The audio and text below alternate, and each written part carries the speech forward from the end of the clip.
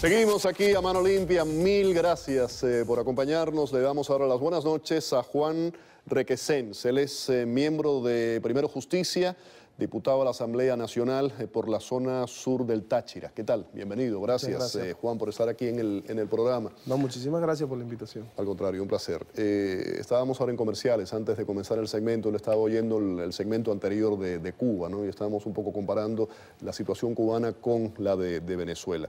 Vamos a hablar de esa ley de, amnistía del, del Parlamento venezolano. Eh, fue enviada a Nicolás Maduro, este se niega a firmarla, la envía al Tribunal Supremo de Justicia, ya el presidente de la Asamblea, Alub, se adelantó diciendo que la máxima corte la va a declarar inconstitucional. ¿Termina en qué para esto? Mira, eh, lamentablemente en Venezuela estamos viviendo un proceso de desgaste y deterioro institucional. ¿no? Eh, sufrimos de 16 años de un gobierno que controlaba absolutamente los poderes. Es más que un gobierno, un partido político. Eh, primero encarnado en la figura de, Hugo Chávez, pero ahora pues un control que no, definitivamente no es de Nicolás Maduro, sino del sector militar que hoy gobierna. Te, este puedo hacer una pregunta porque has dicho algo muy interesante. Hablabas, dijiste primero eh, una figura y dijiste partido. En un principio, durante esa parte del chavismo, era la figura de Hugo Chávez y hoy día es el partido, ya no tiene ese liderazgo que había anteriormente. Mire, en Venezuela hay una mezcla, partido, gobierno, nación, Estado, es casi lo mismo, sacando hoy el poder legislativo. Eh, pero ciertamente en su momento Chávez era el líder del chavismo eh, y del partido y del gobierno y de los poderes. Parecido a lo que hablábamos en el segmento anterior con Fidel Castro. Exactamente. Hoy a Nicolás Maduro pues le ha tocado sortear entre un conjunto de intereses del chavismo, pero que se reduce a una gran cúpula que se ha enriquecido a través de la corrupción eh, de todo lo, y, y además haciendo uso del poder del Estado para enriquecerse a través de la corrupción y que hoy lo manejan a él o como sea. Lamentablemente, estos sectores que entienden las consecuencias de los actos que han hecho durante estos 17 años, abusos, violaciones de derechos humanos, violaciones de derechos civiles, altos niveles de corrupción, eh, permitir que la guerrilla, por ejemplo, entre a Venezuela, concesiones al narcotráfico, bueno, entienden lo que pudiera significar una transición democrática hacia un cambio de gobierno y están negados a dialogar. Entonces, esta ley de amnistía y de reconciliación, que pudiera ser un principio básico para el diálogo, para el entendimiento, para el avance del país, ellos lo asumen como una negatividad. La, Corte Suprema sale y dice esto es inconstitucional. ¿Qué paso queda? ¿Qué se puede hacer? ¿Ahí queda? ¿Ahí, ahí, muere? No, mira, nosotros hoy tenemos varios frentes abiertos. ¿no? Bueno, primero, la aprobación de las leyes que reivindiquen en materia social a los sectores y a los venezolanos. La ley de la propiedad de la gran misión, la ley de los estatiques para los abuelos, para nuestros abuelos, eh, la ley de dignificación del salario docente, leyes que permitan justamente generar pequeños paliativos sobre la gran crisis económica que nosotros estamos viviendo. El segundo, pues, planteando y generándolo. Y nosotros lo tenemos que decir, lanzar puentes a los sectores del gobierno para que entendamos que la única forma de salir adelante es ¿Y hay recepción, ¿Hay recepción por parte de esos eh, sectores del gobierno? por supuesto que no, porque están negados a dialogar.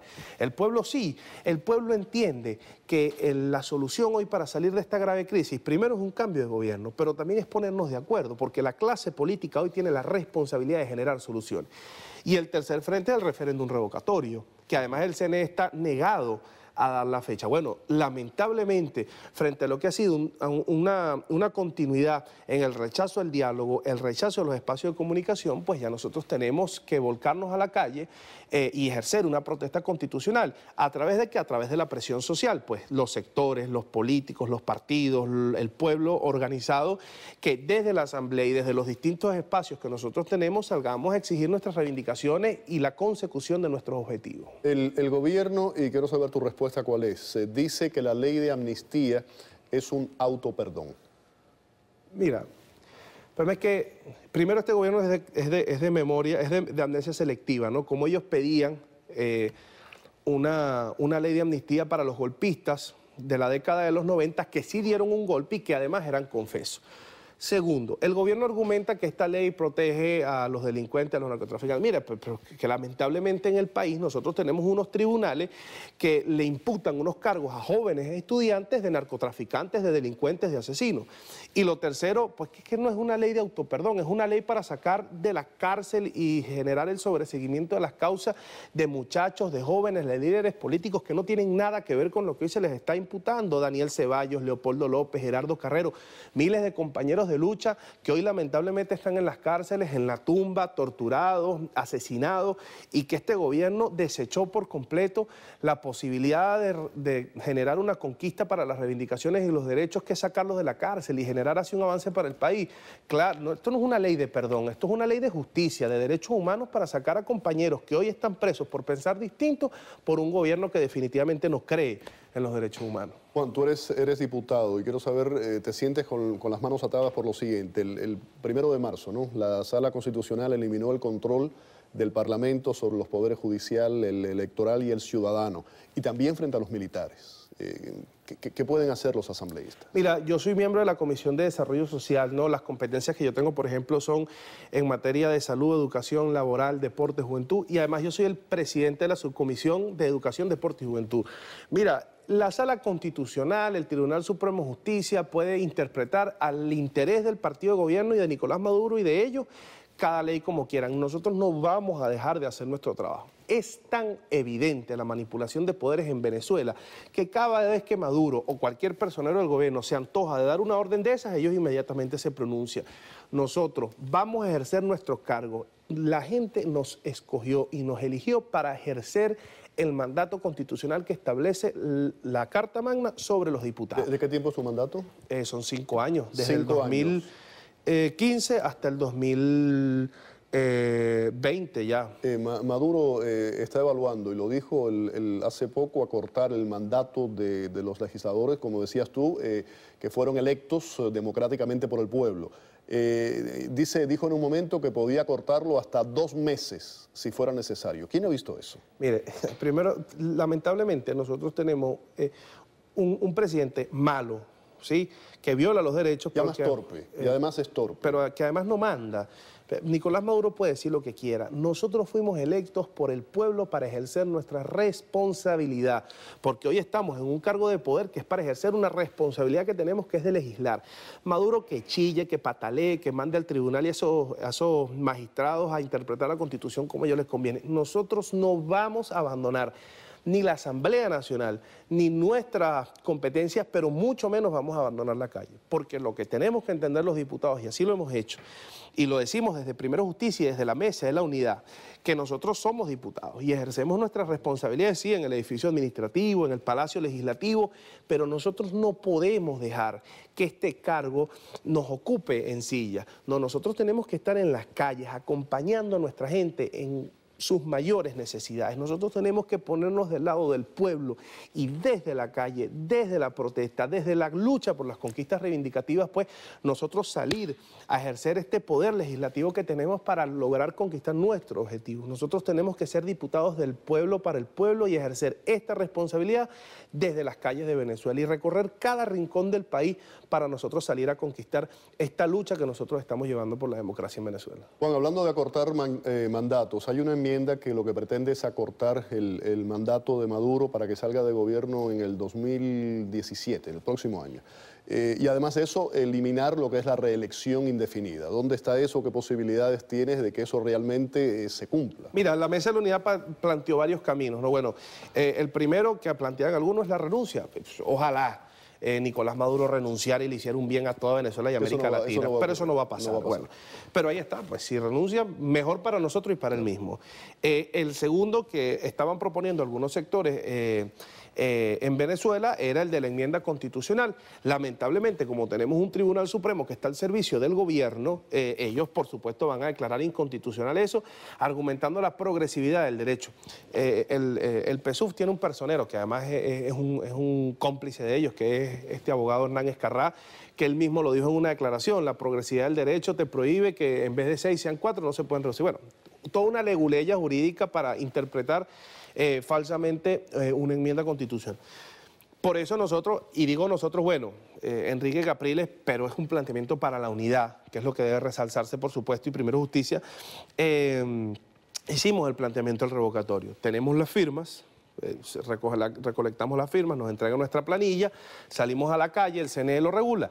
Nos estamos encontrando hoy con un CNE que no quiere eh, dar las planillas cuando nosotros hemos venido cumpliendo todos los requisitos, porque aquí no hay interpretación de la Constitución, aquí no hay interpretación de un juez que está sentado con todo, no, no, no, aquí la Constitución es clara, uno solicita, el CNE entrega. Ellos, por supuesto, están ahora tratando de retardar el proceso para que supere el lapso de este año y si se hace el año que viene, sabiendo ellos que lo vamos a revocar, eh, no perdería el control del Ejecutivo del Gobierno, porque si sale Maduro el año que viene, pues asumiría Aristóbulo. Nosotros estamos empeñados a través de la protesta de calle y la presión que nos entreguen nuestras actas porque estamos en los lapsos que nos han determinado eh, las leyes en Venezuela. Nosotros, eh, nuestros diputados y con líderes políticos de la unidad salieron a protestar al CNE, entregaron el oficio y bueno, vamos a seguirlo trabajando y vamos a seguirlo profesionando.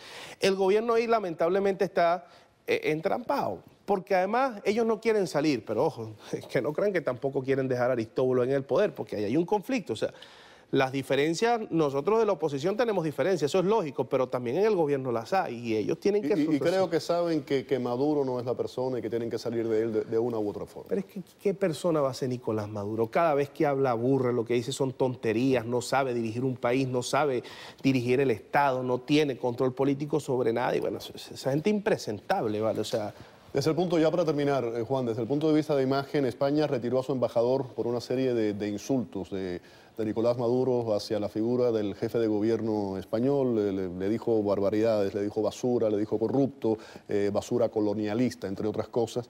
Eh, esta llamada consulta es una especie de, herramienta que lo que supone es que la retirada temporal del embajador por un periodo indeterminado. En cuanto a imagen y el, y el venezolano, ¿cómo ves esto? Pues una vergüenza, mira. 7 millones de dólares que le dieron a Podemos en España y bueno, entendemos... Por cierto, en Venezuela viven más de 200 mil españoles. Sí, bueno, primero metiéndose Venezuela en los asuntos que no le competen, ahí denunciaron lo de Podemos, salió, se expuso, hay una investigación alrededor, entonces el gobierno la respuesta es salir a insultar al primer ministro el show que están haciendo con los demás países, bueno, los demás países de América Latina lo que estaban era chuleándose al gobierno de Venezuela, bueno, porque andaba con una regaladera. ¿Y ahora qué está pasando? Andaba con la chequera regalando con los petrodólares. Ahora que no tenemos recursos, pues... Pasa que la piñata se acabó. Claro. Lo, tercero, mira, el mismo proceso de transición cubana.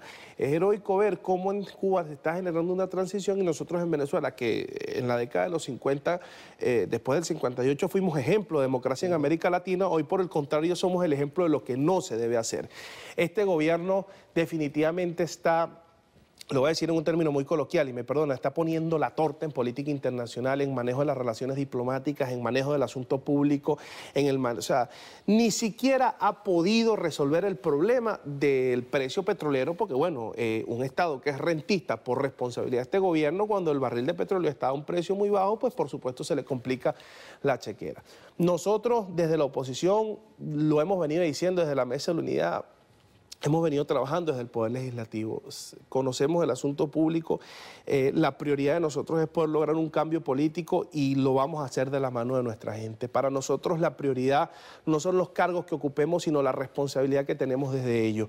Venezuela hoy lamentablemente se encuentra en una situación de crisis muy profunda, pero la voluntad de nuestra gente, la voluntad de nuestros sectores y la voluntad de todo nuestro pueblo nos da a nosotros la convicción de seguir luchando por una Venezuela democrática, por una Venezuela de libertad. Eh, en la responsabilidad que tenemos los diputados, y así le hemos asumido, es que del lado de cada ciudadano, de cada causa, nosotros podamos conquistar nuestros objetivos. Juan, gracias por haber estado aquí en el programa. No, muchísimas gracias a ti y a todos nuestros espectadores, y bueno, seguiremos luchando con mucha claro claro que sí, muchísimas gracias.